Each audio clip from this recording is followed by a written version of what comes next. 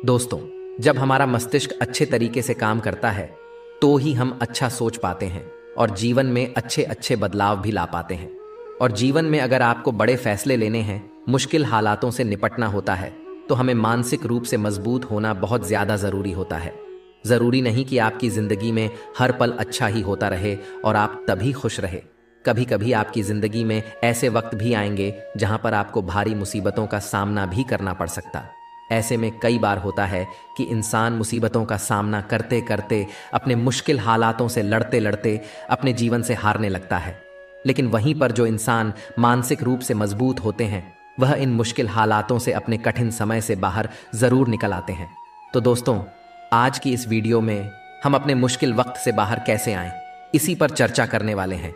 मैं आठ नियम बताने वाला हूँ, जिसे अगर आप जान और समझ लेते हैं तो यकीन मानिए आप अपने मुश्किल हालातों से ज़रूर बाहर निकल आएँगे और आप मानसिक रूप से एक मज़बूत इंसान भी बन जाएँगे।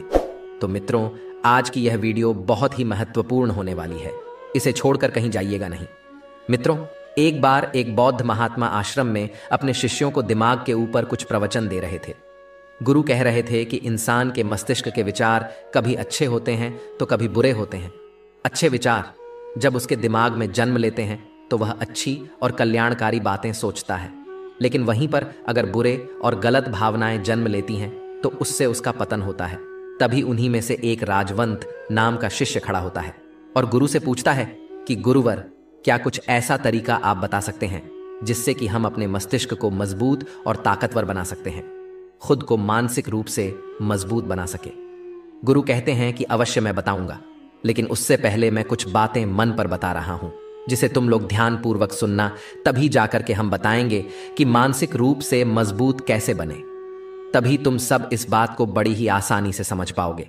गुरु कहते हैं कि जब भी हम कुछ सोचते हैं तो सबसे पहले वह विचार हमारे मस्तिष्क में जन्म लेते हैं और उसी के अनुरूप हमारा पूरा शरीर कार्य करने लगता है। मान लो कि आप कुछ दुख भरी बातें सोचते हैं तो आप बिल्कुल शिथिल होते चले जाते हैं। आपके शरीर की ऊर्जा कम होने लगती है। लेकिन वहीं पर अगर आप कुछ उत्साह भरी बातें सोचते हैं तो आपके शरीर के अंदर असीमित ऊर्जा बहने लगती है। आप वाकई में ऊर्जावान दिखाई देने लगते हैं। आप यह अनुभव खुद कर पाएँगे कि जब आप खुशी होते हैं तो आपके शरीर के अंदर बहुत ऊर्जा आ जाती है। आपका रोम रोम खिल उठता है। ऐसा इसलिए हुआ क्योंकि आपने अपने दिमाग में कुछ जोश भरी बातें सोची। शरीर तो वही है आपका, लेकिन जब आप दुखी होते हैं तो आपका शरीर बिल्कुल ऊर्जा विहीन हो जाता है। लेकिन जब आपके विचार जोश भरे वाले होते हैं तो आपका शरीर खिल उठता है। यानी हमारा शरीर किस तरीके से काम करेगा, यह सब हमारे मस्तिष्क में उत्पन्न हो रहे विचारों पर निर्भर करता है। अब तुम सबको मेरी बातें बहुत ही अच्छे तरीके से समझ में आएँगी। अब हम बताने जा रहे हैं कि मानसिक रूप से हम मज़बूत कैसे बने। गुरु कहते हैं कि मैं तुम सबको आठ तरीका बताऊँगा। अगर आप उन आठ तरीकों को अपने दिमाग में लाएँ वैसा ही सोचते हैं। तो यकीन मानिए आपका शरीर भी वैसा ही काम करने लगेगा। जैसा कि मैं पहले बता चुका हूँ कि जब आप दुखी होते हैं तो आपका शरीर ऊर्जा विहीन होने लगता है। लेकिन जब आप खुश होते हैं, आपके दिमाग में अच्छा विचार आया और आप खुश हो गए तो आपके शरीर में अच्छी ऊर्जा बहने लगती है। इसका मतलब यह है कि अगर हम वह आठ तरीका जान लें और वही हम अपने दिमाग में सोचे तो हमारा शरीर भी ऊर्जा और जोश से भर जाएगा। अर्थात हम मानसिक रूप से मज़बूत बन जाएँगे। और वास्तव में, जब आप मानसिक रूप से मज़बूत बन जाएँगे तो आप मुश्किल हालातों का सामना बड़ी ही आसानी से कर लेंगे। गुरु कहते हैं कि शिष्यों मानसिक रूप से मज़बूत बनने का पहला नियम है, जो हो चुका है। उसकी परवाह करना छोड़ दो। गुरु कहते हैं कि शिष्यों, मुझे यह बताओ कि सूर्य किस दिशा में उगता है। तो सभी शिष्यों ने एक साथ जवाब दिया कि गुरुजी सूर्य पूर्व दिशा निकलता है। फिर गुरुजी ने कहा कि अगर मैं यह कहूँ कि सूर्य पश्चिम दिशा से निकले तो क्या वह निकलेगा? सभी शिष्य कहते हैं कि बिल्कुल नहीं, गुरुवर। सूर्य तो पूर्व दिशा से ही निकलेगा। हम उसके स्थान को, उसके जगह को बदल नहीं सकते हैं। फिर गुरु कहते हैं कि मान लो बारिश का मौसम है, और अगर मैं यह बोलूँ कि बारिश बंद हो जाए तो क्या हमारे बोलने से बारिश बंद हो जाएगी? शिष्य कहते हैं कि नहीं, गुरुवर। वह तो मौसम में बदलाव की वजह से होगा। जब मौसम में बदलाव होगा तो बारिश बंद हो जाएगी। फिर गुरुजी कहते हैं कि अगर मैं तुम लोगों से यह कहूँ कि ठंडी के मौसम में गर्मी पड़ने लगे तो ऐसा होने वाला तो नहीं है। शिष्य कहते हैं, गुरुवर, आप ठीक कह रहे हैं। यह कभी नहीं हो सकता कि ठंडी के मौसम में गर्मी पड़े और गर्मी के मौसम में ठंडी पड़ने लगे। यह मौसम तो प्रकृति पर निर्भर करता है, जो कि हमारे बस में नहीं है। फिर गुरु कहते हैं कि ठीक उसी प्रकार, अगर जो चीज़ हमारे वश में नहीं होती है, या जो बातें घटनाएँ बीत चुकी हैं, अगर हम उन घटनाओं को लेकर के बार बार परेशान होते रहेंगे या उसकी बहुत ज़्यादा परवाह करेंगे तो क्या हम भूतकाल की घटनाओं को बदल सकते हैं? शिष्य कहते हैं कि नहीं गुरुवर। फिर गुरु कहते हैं कि अगर तुम उन बीती घटनाओं को लेकर के बार बार चिंता में रहोगे और उस चीज़ की परवाह करोगे तो तुम परेशान होते चले जाओगे।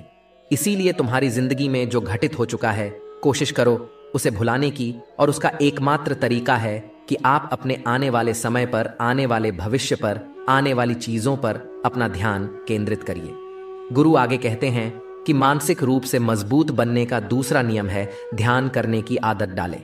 गुरु कहते हैं कि गौतम बुद्ध जब सत्य की खोज में निकल पड़े थे तो उन्होंने बहुत सारे उपाय किए, बहुत सारे कर्मकांड किए, लेकिन उन कर्मकांडों की वजह से उन्हें बहुत ज़्यादा कुछ हासिल नहीं हुआ और उनका शरीर दुबला पतला होता चला गया। लेकिन वह सत्य की खोज करने में असमर्थ रहे। उनके गुरुओं ने उन्हें बहुत सारे कर्मकांड उपाय बताए, लेकिन उन कर्मकांड का कोई मतलब नहीं हुआ। अंत में, जब भगवान गौतम बुद्ध स्वयं ध्यान की अवस्था में बैठे तो धीरे धीरे ध्यान की गहराइयों में जाकर के उन्हें वह सारी चीज़ें लगने लगी, जिस चीज़ की वह खोज में निकल पड़े थे। ध्यान के ज़रिए वह अपने सभी विचार पर विजय पा लिए। उन्होंने पापी मार्ग को पराजित किया, काम वासना पर विजय पाई, अपनी हर एक भावना पर वह विजय पा लिए। और यह सब तभी हुआ, जब वे ध्यान की गहरी अवस्था में बैठे, और कई दिनों तक ऐसे ही बैठे रहे। ध्यान करने से हमारा मन और मस्तिष्क बहुत ही शांत हो जाता है। जिसे कि अगर हम किसी वस्तु पर या किसी के बारे में या किसी चीज़ के बारे में जब विचार करते हैं तो हमारा पूरा ध्यान उसी पर केंद्रित रहता है।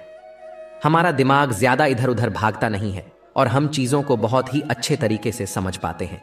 ध्यान ही एक ऐसा तरीका है जो आपको हर तरीके से आपके दिमाग को मज़बूत बनाता है।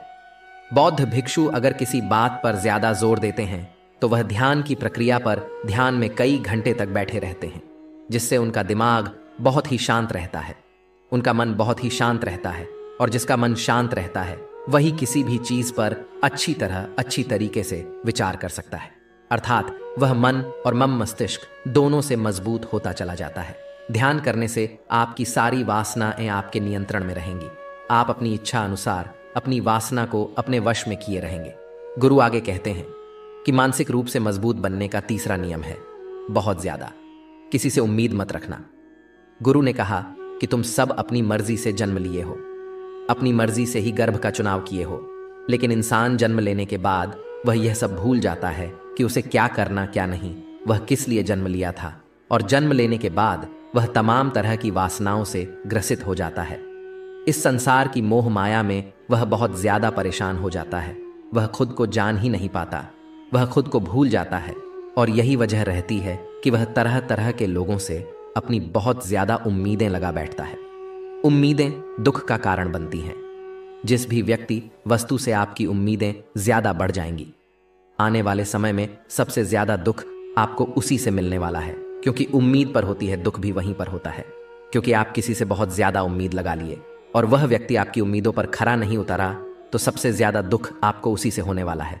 क्योंकि जब उम्मीद टूटती है तो दुख बहुत ज़्यादा होता है। इसलिए इस सांसारिक, इस भौतिक जीवन में बहुत ज़्यादा उम्मीद और बहुत ज़्यादा मोह किसी भी व्यक्ति से मत करना। तभी एक शिष्य उठ खड़ा होता है और कहता है कि, हे गुरुवर, हम बिना उम्मीद से, बिना आशा से कैसे जी सकते हैं? हम सबके मन में रहता है कि मुझे यह चीज़ करनी है, मुझे वह चीज़ करनी है, मुझे जीवन में ऊंचाइयों को हासिल करना है। बिना उम्मीद के तो हम लोग जीवन में आगे बढ़ ही नहीं सकते। गुरु ने कहा कि कुछ पाने की लालसा, कुछ बड़ा बनने की लालसा जीवन में ज़रूर आपको ऊंचाइयों तक ले जाएगी। कुछ बड़ा बनने के लिए लालसा खुद से होती है, न कि किसी व्यक्ति वस्तु विशेष से।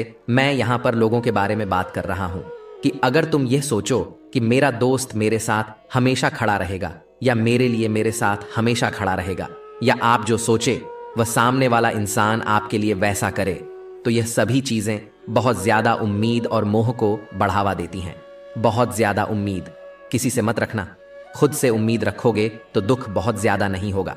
लेकिन अगर दूसरों से उम्मीद रखोगे और वह उम्मीद पूरी नहीं हुई तो दुख बहुत ज़्यादा होगा। कई बार होता है कि माता पिता जो अपने जीवन में हासिल नहीं कर पाए, वह चाहते हैं कि वह चीज़ उनके बच्चे हासिल करें। वह सारा भार अपने बच्चों पर ला देते हैं। बच्चे उनके हिसाब से चले, वह उनकी उम्मीदों को उन्होंने ने जो अपने जीवन में हासिल नहीं कर पाया, वह काम अब उनके बच्चे करें। और लगभग लगभग इस समय तो सभी के माता पिता यही कह रहे हैं। बहुत कम लोग होते हैं जो अपने बच्चों को आज़ाद रखते हैं। मेरी सभी से गुजारिश है कि अपनी उम्मीदों का पहाड़ अपने बच्चों पर न ठोपे। गुरु कहते हैं कि मानसिक रूप से मज़बूत होने का चौथा नियम है कि पहली बार में ही किसी काम में फेल होने से डरो मत। गुरु आगे कहते हैं कि, शिष्यों, अगर डर तुम पर हावी हो जाएगा तो तुम अवश्य असफल हो जाओगे। अपनी ज़िंदगी में वह इंसान सबसे ज़्यादा असफल होता है। जिसे अपने लक्ष्य को पाने का डर रहता है। अगर डर तुम्हारी ज़िंदगी में बढ़ गया तो तुम्हें वह असफलता की तरफ़ ज़रूर ले जाएगा। क्योंकि डर तुम्हारे आत्मबल को, तुम्हारे आत्मविश्वास को डगमगा देगा, कमज़ोर कर देगा। और तुम्हारा आत्मबल, तुम्हारा आत्मविश्वास कमज़ोर हो जाएगा तो तुम निश्चित ही अपने लक्ष्य को पाने में असमर्थ महसूस करोगे। और यही असमर्थता तुम्हें असफलता की तरफ़ ले जाएगी। इसलिए जीवन में जब तुम अपने लक्ष्य की प्राप्ति के लिए आगे बढ़ो तो मन में किसी भी चीज़ की शंका मत रखो। कि मैं फेल हो जाऊँगा। अगर यह नहीं हुआ तो यह हो जाएगा। ये सब बातें अपने दिमाग में मत लाओ, क्योंकि ये सभी बातें आपको डर की तरफ़ ले जाएँगी। और जब डर बढ़ेगा तो तमाम शंका आपके दिमाग में पैदा होगी। आपको घबराहट भी हो सकती है। आपको नींद नहीं आएगी। रात को बेचैन मन होने लगेगा, क्योंकि आपका डर आपको असफलता की तरफ़ ले जा रहा है। और जब असफलता का विचार आपके दिमाग में आएगा तो आप और ज़्यादा डरने लगेंगे। इसलिए जीवन में जब आप लक्ष्य की प्राप्ति के लिए आगे बढ़ जाओ तो मन में कोई शंका मत रखो। सिर्फ़ और सिर्फ़ अपने काम करने पर ध्यान दो। जब तुम काम करने पर ध्यान दोगे तो तुम कभी डरोगा नहीं। क्योंकि तुम अपने लक्ष्य की प्राप्ति के लिए काम कर रहे हो। उसके लिए जुट गए हो तो तुम्हारा डर खत्म हो जाएगा। और जब डर खत्म हो जाएगा तो तुम ज़रूर सफल हो जाओगे। गुरु आगे कहते हैं कि पांचवा नियम है, मानसिक रूप से मज़बूत बनना। वह यह है कि ज़िंदगी में कभी भी खुद को कोसो नहीं, गुरु कहते हैं। कि जो इंसान जितना ज़्यादा संघर्ष करता है, वह उतना ही मज़बूत बनता चला जाता है। जितना ज़्यादा तुम मज़बूत बनोगे, उतना ही ज़्यादा तुम काबिल होते चले जाओगे। इसलिए अगर तुम किसी भी चीज़ में असफल भी हो जाते हो, या कोई चीज़ तुम्हारी इच्छा के अनुसार नहीं हुई, या तुमने कुछ ऐसा कार्य किया जैसा नहीं करना चाहिए था, और इन सब बातों को लेकर के अगर तुम पछता रहे हो, खुद को कोस रहे हो तो यह तुम्हें मानसिक रूप से कमज़ोर करता चला जाएगा, क्योंकि खुद को कोसना बहुत ज़्यादा खतरनाक होता है। यह आपके दिमाग की क्षमता को कम कर देगा। आपकी सोचने, समझने की शक्ति को कम कर देगा। आपके आत्मबल, आपके आत्मविश्वास को कम कर देगा। इसीलिए जीवन में कभी भी, किसी भी कार्य के लिए खुद को कोसना नहीं। क्योंकि अगर वह कार्य तुमसे नहीं हुआ है, या जो तुम सोच रहे हो वह ज़िंदगी में नहीं कर पाए तो इसका मतलब यह नहीं है कि तुम असफल ही हो गए। अगर मैं यह कहूँ कि यह सामने वाला आम का पेड़ है, इस पर सबसे पहले कौन सा जानवर चढ़ेगा? हाथी चढ़ेगा, बंदर चढ़ेगा, या फिर गिलहरी और या फिर शेर। तो सभी शिष्यों ने कहा कि गुरुवर, इस पर तो गिलहरी और बंदर सबसे पहले चढ़ जाएँगे। तभी फिर गुरु कहते हैं कि तो अगर यह हाथी सोचे कि मैं इस पेड़ पर नहीं चढ़ पाया, अगर वह खुद को कोसने लगे तो क्या यह सही है?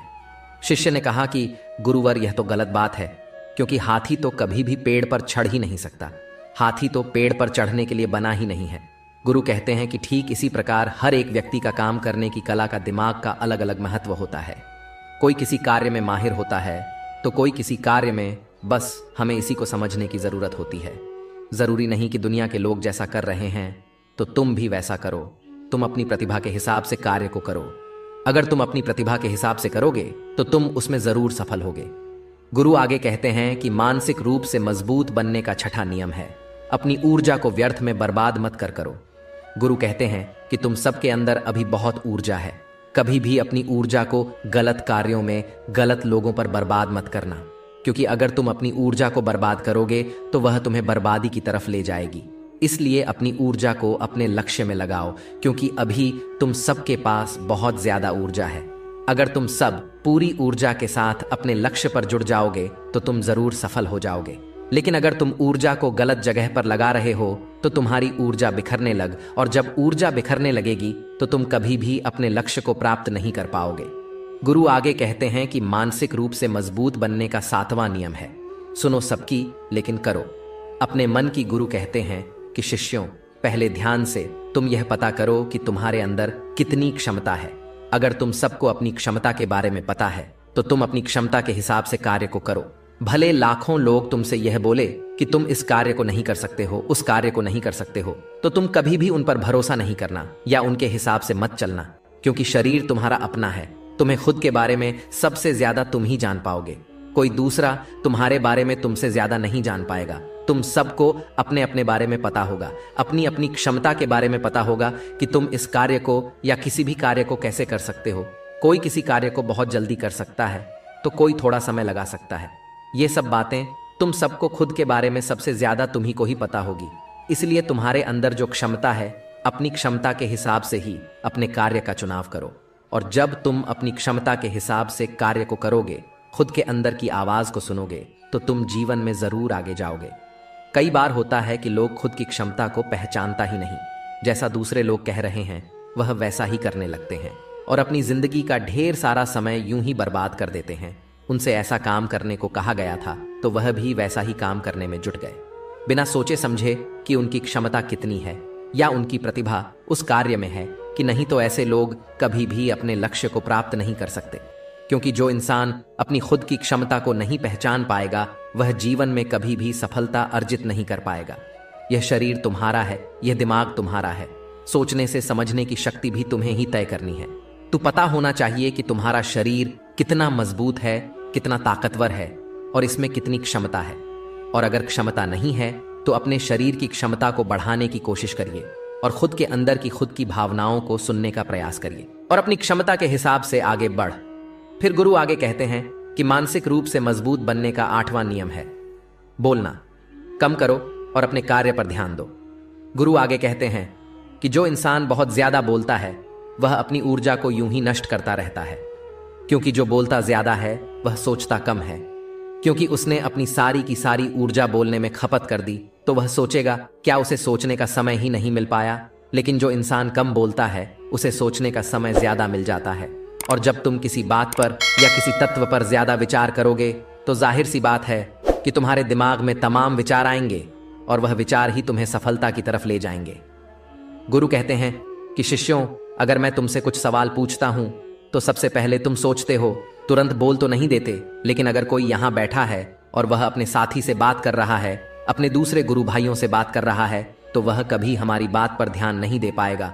और जब हम प्रश्न पूछेंगे तो उसका गलत जवाब वह दे देगा, क्योंकि वह बोलने में अपनी ऊर्जा व्यर्थ कर रहा है।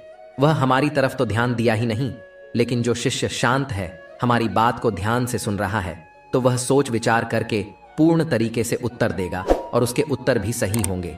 इसलिए शिष्यों, कम बोलने का अभ्यास करो। जब तुम कम बोलने का अभ्यास करोगे तो तुम किसी भी बात पर, किसी भी तथ्य पर ज़्यादा विचार कर पाओगे। तो ज़ाहिर सी बात है कि समस्या का समाधान ज़रूर निकल कर आएगा और कम बोलने से तुम्हारी ऊर्जा की भी बचत होगी। उस ऊर्जा को सोचने में लगाओ। गुरु कहते हैं कि शिष्यों, यह थे मानसिक रूप से मज़बूत बनने के आठ नियम। अगर तुम सब यकीन के साथ इन आठ नियमों का पालन अपनी ज़िंदगी में करते हो तो तुम मानसिक रूप से अवश्य मज़बूत बनोगे। फिर कोई परेशानी। कोई भी रुकावट तुम्हारी ज़िंदगी में नहीं आने वाली है। कोई समस्या भी आएगी तो तुम उसका डटकर सामना भी कर पाओगे। सभी शिष्य गुरु की बात को सुनकर के उनका कोटि कोटि नमन करते हैं। और वे लोग समझ जाते हैं कि मानसिक रूप से मज़बूत बनने के यह आठ नियम उनकी ज़िंदगी में कितने हितकारी साबित होने वाले हैं। वह सभी गुरु को प्रणाम करते हैं और उस दिन की शिक्षा भी पूरी हो जाती है। सभी लोग अपने आश्रम में चले जाते हैं। तो दोस्तों, उम्मीद है इस वीडियो से आपको काफ़ी कुछ सीखने को मिला होगा। दोस्तों, बहुत समय पहले की बात है। एक खूबसूरत सी नदी के किनारे पर एक गुरु अपना आश्रम बनाकर रहा करते थे। उनकी ख्याति दूर दूर तक फैली हुई थी। वह बूढ़े हो चुके थे और उनका एक शिष्य भी था, जो उन्हीं के साथ उस आश्रम में रहा करता था। एक दिन वह शिष्य भिक्षा मांगने पासी के गाँव में गया था। तभी उसने वहाँ पर देखा कि एक बूढ़े व्यक्ति की मृत्यु हो चुकी थी। यह देख वह शिष्य बहुत चिंतित हो गया। उस मृत व्यक्ति को देखकर उस शिष्य के मन में एक चिंता जाग उठी। वह शिष्य अब यह सोचने लगा कि मेरे गुरु भी अब बूढ़े हो चले हैं। यदि वह मुझे छोड़कर चले जाएँगे तो मेरा मार्गदर्शन कौन करेगा? मुझे रास्ता कौन दिखाएगा? मैं किसके मार्गदर्शन से अपने आध्यात्म की इस सफ़र को पूरा कर पाऊँगा? वह यही सोचता हुआ वापस आश्रम लौट आया। लेकिन उसने अपने गुरु से कुछ नहीं कहा। लेकिन वह हर दिन अब चिंता में रहने लगा था। वह हर रोज सुबह उठकर सबसे पहले अपने गुरु के पास जाता और यह देखता कि कहीं उनकी साँसें चल रही हैं या नहीं। गुरु जीवित तो है ना? और जब वह यह देखता कि उन गुरु की साँसें अब भी चल रही हैं तो वह देखकर सुकून की सांस लेता। देखते ही देखते अब यह डर उसके मन में गहराई तक बैठता जा रहा था, क्योंकि उसने बहुत से बूढ़े लोगों को मृत्यु प्राप्त करते हुए देखा था। एक दिन की बात है, वह अपने मार्ग से कहीं जा रहा था। रास्ते में उसे दो झोपड़ियाँ नज़र आई। वहाँ से रोने और बिलक की आवाज़ भी आ रही थी। शिष्य ने जब वहाँ जाकर देखा तो उसने पाया कि वहाँ पर किसी की मृत्यु हो गई थी और वह व्यक्ति भी बूढ़ा था। यह देखकर वह शिष्य अब भीतर ही भीतर बहुत चिंतित हो चुका था। उसे अब यह डर सता रहा था कि कहीं उसके गुरु भी उसे छोड़कर ना चले जाएँ। यही सोचता हुआ वह वापस आश्रम लौट आया। वह चुपचाप एक जगह बैठ गया और अपने गुरु के बारे में सोचने लगा। तभी वहाँ पर वह गुरु आए। उन्होंने अपने शिष्य को इतनी चिंता में देखा तो वह उससे पूछे बिना रह नहीं पाए। वह गुरु अपने शिष्य के पास बैठे और अपने शिष्य से कहते हैं, भंते, क्या बात है? मैं तुम्हें कई दिनों से चिंता में देख रहा हूँ। क्या कोई विपदा आन पड़ी है? अपने गुरु के इस प्रश्न का जवाब देते हुए वह शिष्य उन गुरु से कहता है, हे hey गुरुवर, कहने में तो बहुत अजीब लग रहा है, लेकिन मैं जो भी कहना चाहता हूँ, यह सत्य भी है, और मैं इसे छुपा नहीं सकता। मैंने कई सारे बूढ़े लोगों को मरते हुए देखा है। और मेरे मन में भी यही डर है कि आप भी बूढ़े हो चुके हैं। इसलिए मैं आपको खोना नहीं चाहता। क्योंकि यदि आप छोड़कर चले गए तो फिर मुझे राह कौन दिखाएगा? आपके बिना मैं अपने सफ़र को किस प्रकार पूरा कर पाऊँगा? उन गुरु ने अपने शिष्य की मन की इस बात को ध्यानपूर्वक सुना और उसके बाद वह ज़ोर ज़ोर हंसने लगे। इस पर वह शिष्य बड़ा आश्चर्यचकित हुआ और उसने उन गुरु से कहा, हे hey गुरुवर, आप हंस क्यों रहे हैं? क्या मैंने कुछ गलत कह दिया? क्या बूढ़े लोग मृत्यु को प्राप्त नहीं होते? इस पर वह गुरु अपने शिष्य से कहते हैं, भंते, इस दुनिया में मृत्यु का बुढ़ापे या जवानी से कोई संबंध नहीं है। तुझे इस बात की चिंता है कि मैं मर जाऊँगा तो तुझे मार्गदर्शन कौन देगा? किंतु तुमने एक पल के लिए यह नहीं सोचा। यदि मुझसे पहले तुम्हारी मृत्यु हो गई तो तुम क्या कर पाओगे? ऐसी अवस्था में तुम मुझसे मार्गदर्शन कैसे ले पाओगे? अपने गुरु की यह बात सुनकर वह शिष्य आश्चर्यचकित रह गया। वह पूरी तरह से स्तब्ध रह गया और मन ही मन वह यह सोचने लगा कि यह बात तो मैंने सोची ही नहीं। गुरुवर तो सत्य ही कह रहे हैं। मैं तो यह सोच रहा था कि केवल बूढ़े लोग ही मरते हैं। किंतु वास्तविकता तो यही है कि बच्चे और जवान भी मरते हैं। और ऐसे में यदि मेरी मृत्यु मेरे गुरु से पहले हो गई तो तो मैं मार्गदर्शन कैसे ले पाऊँगा? अपनी मंजिल तक कैसे पहुँच पाऊँगा? अब से उस शिष्य के मन में केवल एक ही बात चलने लगी। और वह यही थी कि यदि वह गुरु से पहले ही मर गया तो आखिर वह क्या जानकर मरेगा? आखिर वह क्या हासिल करके मरेगा? वह यह सोच रहा था कि जीवन तो अनिश्चित है, आज है। लेकिन अगले पल कौन जानता है? यह जीवन हो या ना हो? जीवन के बारे में कुछ भी नहीं कहा जा सकता। जीवन तो अनिश्चित है। वशिष्ठ, यह सब बैठकर सोच ही रहा था कि देखते ही देखते रात्रि का वक्त हो चुका था और गुरु अपने कक्ष में सोने के लिए चले गए थे।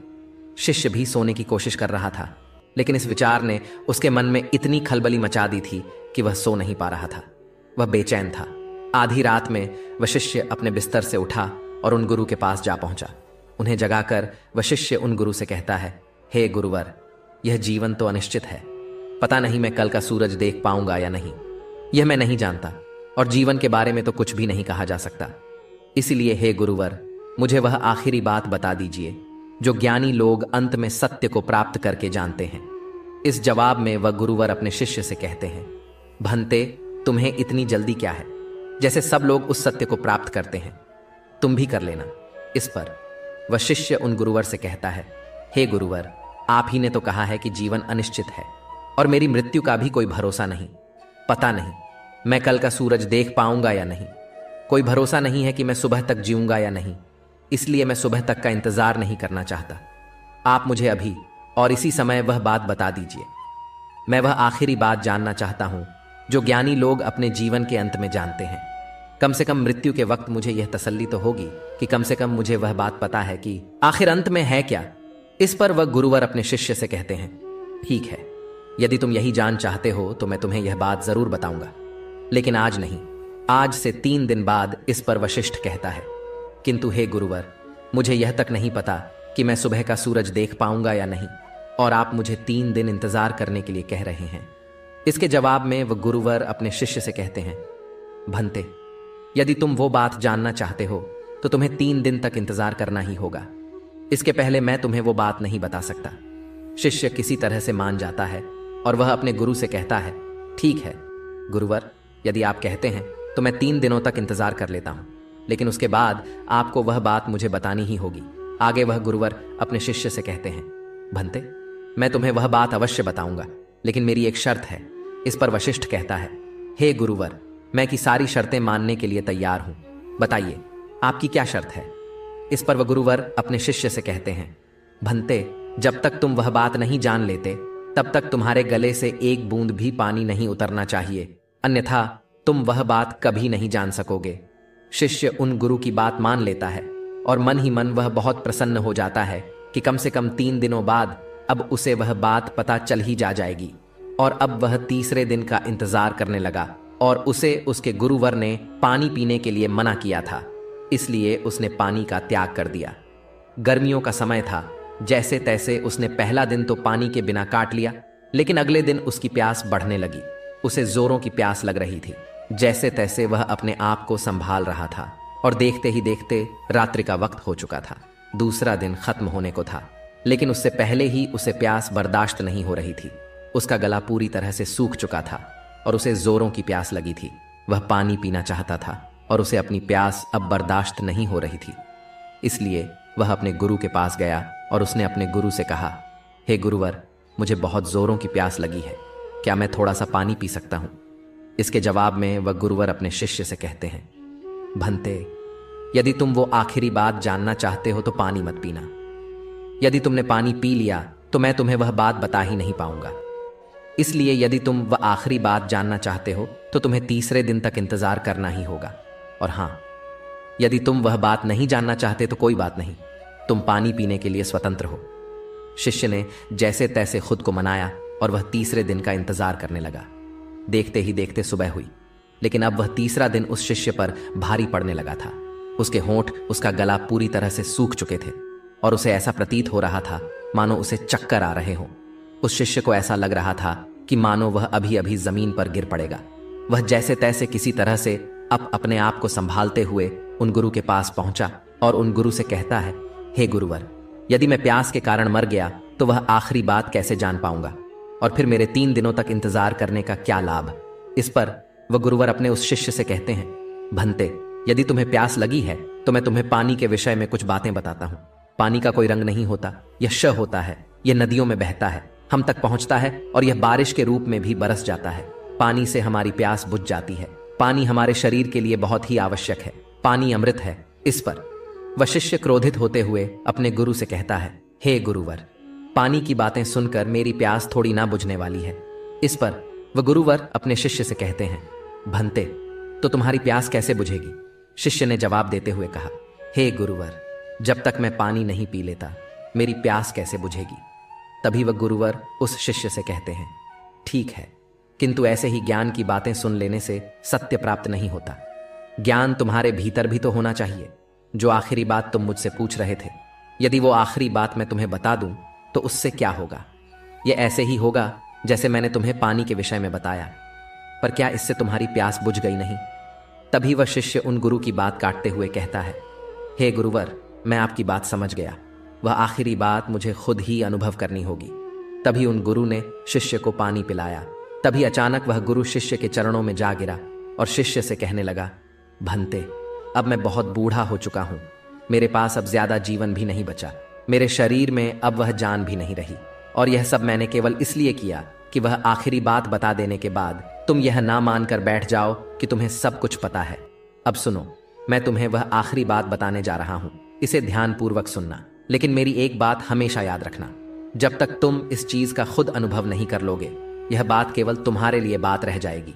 इसका तुम्हें कोई लाभ नहीं मिलेगा। परंतु उससे पहले यह जान लो कि इस दुनिया में जितनी भी बातें कही गई हैं, वह सब केवल बात बढ़ाने की बातें हैं। कोई भी बात जब कोई कहता है तो उससे कई सारी बातें निकलती हैं। हर व्यक्ति अपने हिसाब से बात को समझता और कहता है, इस तरह से एक से अनेक बात निकलती है, और इसीलिए इस दुनिया में सत्य कहने की कोई भाषा नहीं है, कोई बात नहीं है। सत्य ही है जो वो आखिरी बात है, जिसे कहा नहीं जा सकता, क्योंकि सत्य एक ही होता है। और वह हर स्थिति या परिस्थितियों में एक ही जैसा होता है। जैसे कि तुम्हें जब प्यास लगी थी तो वो प्यास केवल पानी पीने से ही मिट सकती है। ना कि उसकी बातें सुनकर जब तुम्हें प्यास लगी थी तो उसका अनुभव तुम ही जान सकते हो। परंतु पानी के बारे में बातें तो बहुत हो सकती हैं। इसलिए मैं तुम्हें वह आखिरी बात बताने जा रहा हूँ। इसे ध्यानपूर्वक सुनना और इसका अनुभव करने का प्रयास करना। आगे वह गुरुवर अपने शिष्य से कहते हैं, भंते, आखिरी बात जो बुद्ध पुरुष अंत में जानते हैं इतना कहकर वह गुरुवर शांत हो गए। तभी वह शिष्य उन गुरुवर से कहता है, गुरुवर कहिए, मैं सुन रहा हूँ, आखिर बताइए ना, क्या बात है? वह शिष्य कई बार यही बात दोहराता रहा, लेकिन उसके गुरु ने कुछ भी नहीं कहा। उस दिन के बाद से उन गुरु के मुख से एक शब्द तक नहीं निकला। देखते ही देखते कई दिन बीत गए, लेकिन अब उस शिष्य को यह समझ नहीं आ रहा था कि आखिर उसके गुरु को क्या हो गया है। आखिर वह ऐसा क्यों कर रहे हैं? आखिर वह कुछ बोलते क्यों नहीं? जब से उन्होंने मुझसे कहा कि मैं तुम्हें आखिरी बात बताने जा रहा हूँ, उसके बाद से उन्होंने मुझसे एक शब्द तक नहीं कहा। वह मुझे वह आखिरी बात बताने वाले थे, जो बुद्ध पुरुष अंत में जानते हैं। लेकिन उसकी बात से वह चुप हो गए। उन्होंने मुझसे तब से कुछ भी नहीं कहा है, और अब तो पूरे एक महीने बीत चुके हैं। लेकिन मेरे गुरु मुझसे कुछ कह ही नहीं रहे। वशिष्ठ इसी चिंता में लगा हुआ था। तभी अगले दिन सुबह उस शिष्य के गुरु हमेशा हमेशा के लिए चुप हो गए। किंतु अपना देह त्यागने से पहले गुरु ने अपने शिष्य को अपने थैली की ओर इशारा करते हुए कुछ कहने की कोशिश की थी, और उसके बाद उन्होंने अपना देह त्याग दिया। शिष्य ने गुरु का अंतिम संस्कार किया, और उसके बाद उसने उस थैली में जाकर देखा तो उसमें एक छोटी सी चिट्ठी थी, और उस चिट्ठी में लिखा हुआ था, भंते, जो आखिरी बात मैं तुम्हें बताना चाहता हूँ, वह आखिरी बात कभी हो ही नहीं सकती। शिष्य को अब भी कुछ समझ नहीं आ रहा था कि आखिर इसका क्या मतलब है। आखिर उसके गुरु ने ऐसा क्यों कहा है? ऐसा क्यों लिखा है? उसे कुछ भी समझ नहीं आ रहा था। कई दिनों तक तो वह इसी बारे में सोचता रहा, लेकिन उसे इसका कोई जवाब नहीं मिला। अंत में उसने यह तय किया कि जैसा भी उसे उसके गुरु ने मार्ग दिखाया है वह उस मार्ग पर आगे बढ़ेगा और सत्य की प्राप्ति करेगा। वह आध्यात्म की मार्ग पर आगे बढ़ता गया और करीब दस सालों की खोज बन के बाद आखिरकार एक दिन उसने सत्य को प्राप्त कर ही लिया और तब जाके उसे अपने गुरु की बात समझ में आ गई और अब वह मौन हो चुका था और अब उसे वह आखिरी बात पता चल चुकी थी। वह आखिरी बात कोई कह नहीं सकता, क्योंकि जो बात कह दी जाए, वह आखिरी नहीं होती। और वही सत्य है, शांति है, एक जैसा है और वह कभी नहीं बदलता। फिर भी अगर मैं आपसे उस आखिरी बात के बारे में बात कहूँ तो मेरे कहते ही आप जितने लोग भी यह वीडियो देख रहे हैं, जो मेरी बातें सुन रहे हैं, वो उतनी ही तरह तरह की बातें निकालेंगे, और वह सत्य नहीं होगा। उसमें कहीं भी आपको सत्य नज़र ही नहीं आएगा, और ऐसे में वह आखिरी बात भी नहीं रह जाएगी। तो आपके हिसाब से वह आखिरी बात क्या है? क्या आप अब तक जान चुके हैं या नहीं? तो यदि अगर आप अब तक उस बात को नहीं पहचान पाए तो मैं एक बार फिर से आपको समझाने का प्रयास करता हूँ और आपको बताने का प्रयास करता हूँ। वह आखिरी बात है। लगता है अब तक आप समझ नहीं पाए। वह आखिरी बात है, मौन। और जब हम मौन हो जाते हैं तो हम कुछ नहीं कहते। और वही सत्य होता है, वही बदलता नहीं। इसलिए जो बुद्ध पुरुष अंत में जानते हैं, वो यही सत्य है, जो कभी नहीं बदलता।